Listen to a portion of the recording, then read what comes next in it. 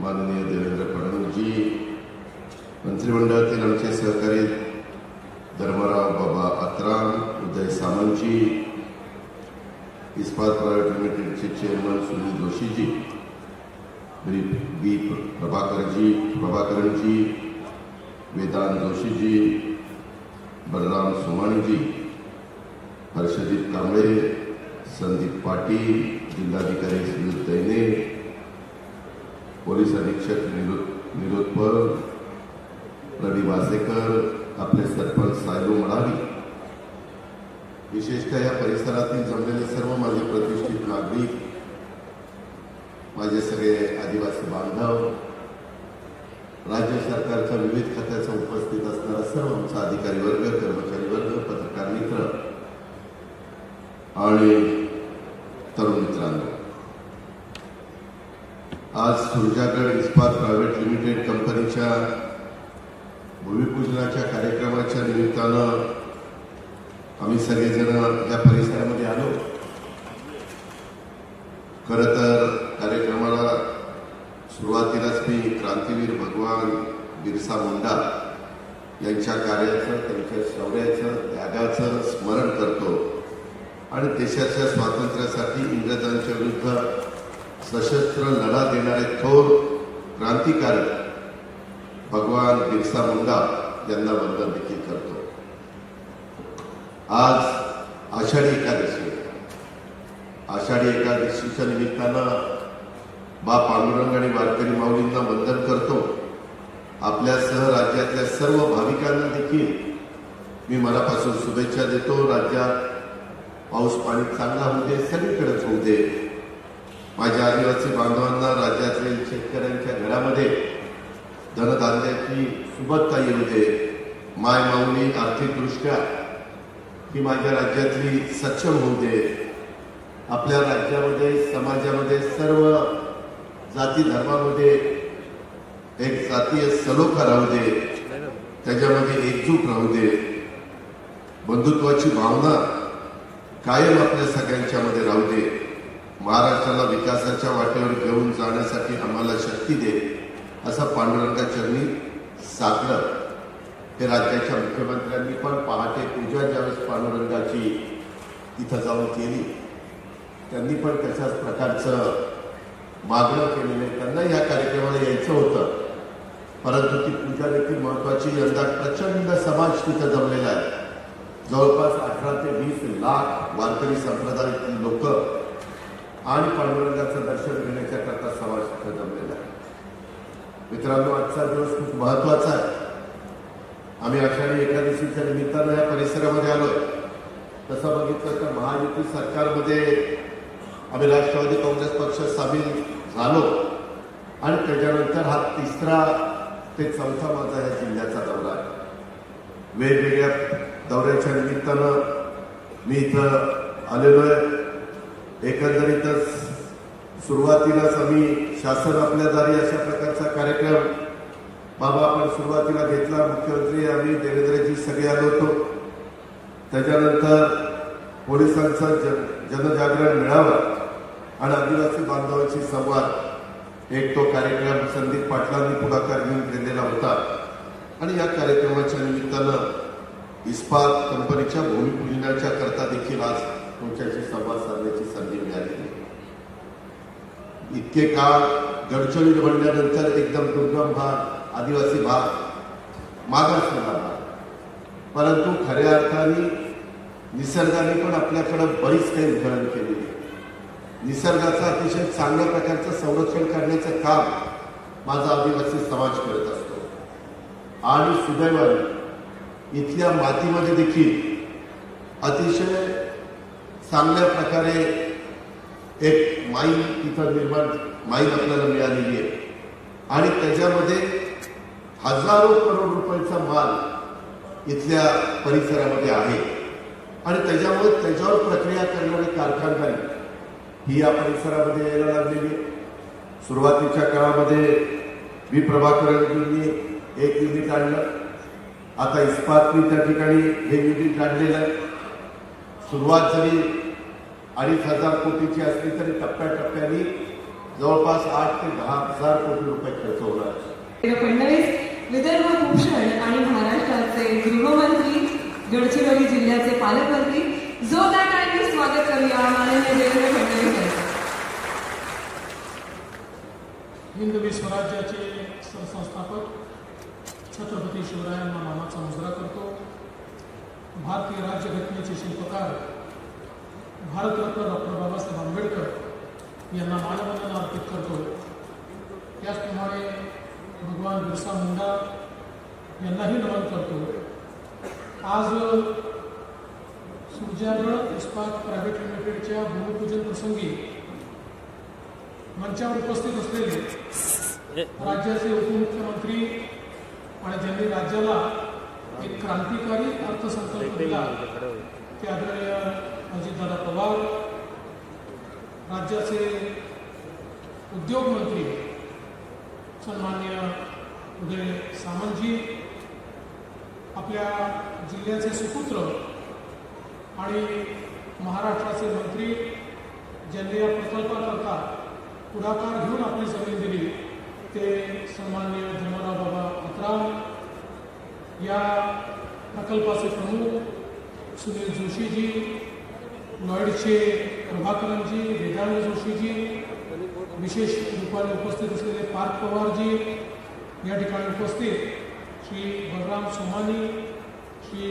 संदीप शिरखेडकर आपले उद्योग सचिव हर्षदीप कांबळे आय जी संदीप पाटील श्री जिल्हाधिकारी संजय बेने श्री निलोत्पल आपले एस पी त्याचप्रमाणे सरपंच साहेब मडावी मंचावरील सर्व मान्यवर आणि या ठिकाणी उपस्थित असलेल्या माझ्या सर्व माता भगिनी आणि बंधूंनो सर्वप्रथम आपल्या सर्वांना आषाढी एकादशीच्या मी खूप शुभेच्छा देतो आणि पांडुरंगाला विठ्ठलाला प्रार्थना करतो की आपल्या राज्याला आणि आपल्या गडचिरोलीला पुढे नेण्याकरता आणि राज्याच्या जनसामान्यांचा विकास होण्याकरता पांडुरंगाने आपल्याला आशीर्वाद द्यावा आणि आम्हाला सगळ्यांना शक्ती द्यावी. खरं म्हणजे आजचा दिवस हा अतिशय ऐतिहासिक अशा प्रकारचा दिवस आहे. ज्याला आपण कालचक्र म्हणतो ते कालचक्र कसं फिरतं हे आजच्या दिवसाला आपल्याला पाहायला मिळतं.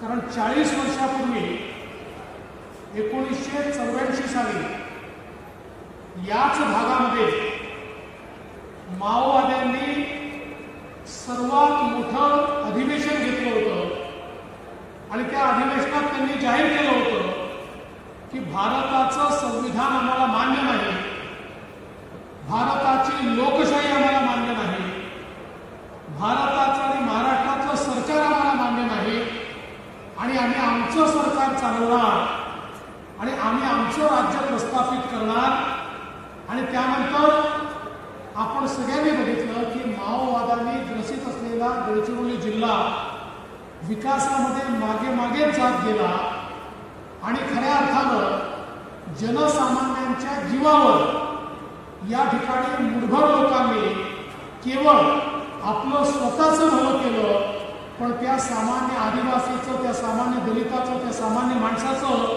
भलं मात्र होऊ शकलं नाही.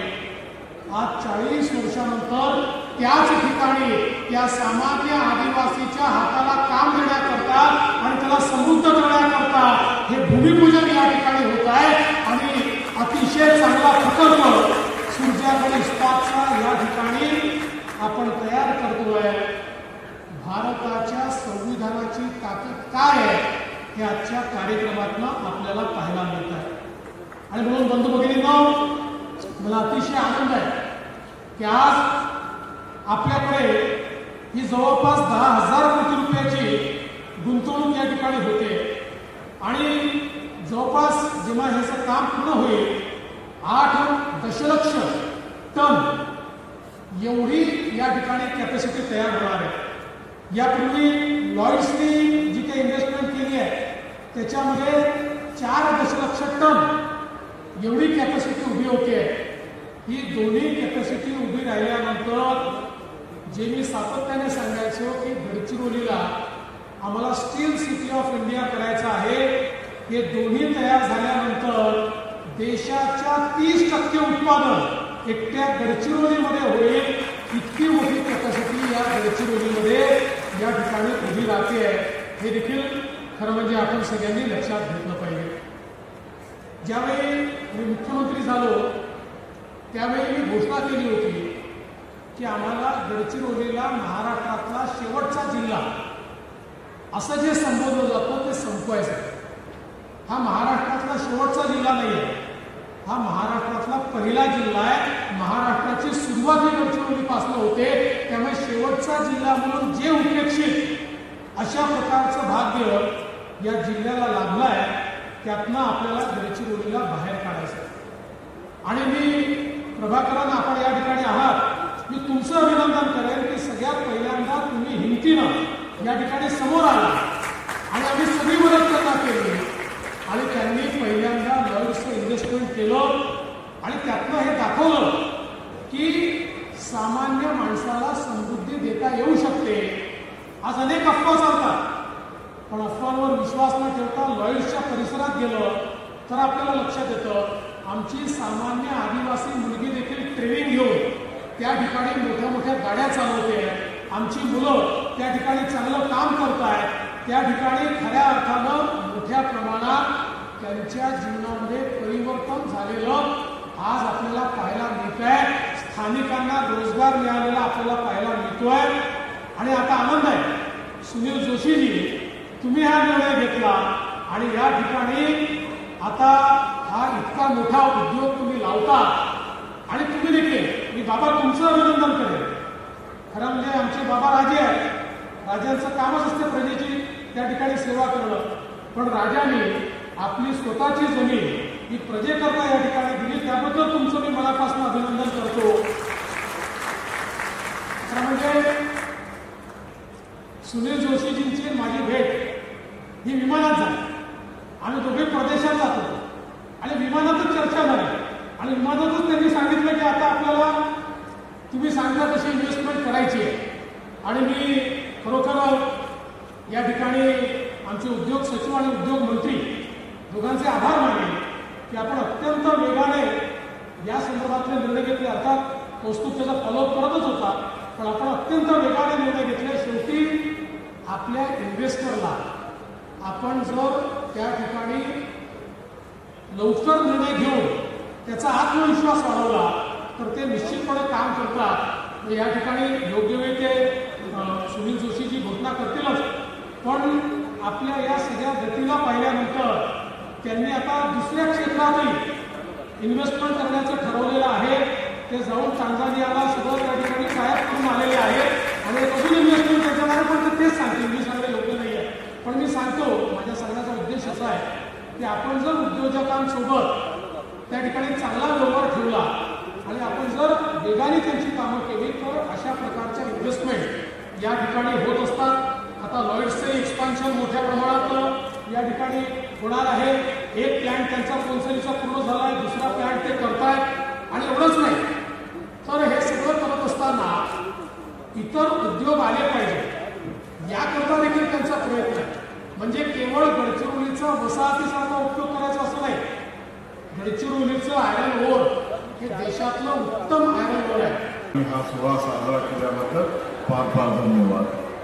आणि साहेब तुम्हाला शब्द देतो की जसं तुम्हाला आम्ही प्रॉमिस केलंय तसंच आम्ही लवकरात लवकर हा प्रकल्प उभा करू आणि इकडे लवकरात लवकर रोजगार देऊ लोकांना आणि तुमच्या आशीर्वादाने आम्ही हा प्रकल्प देऊ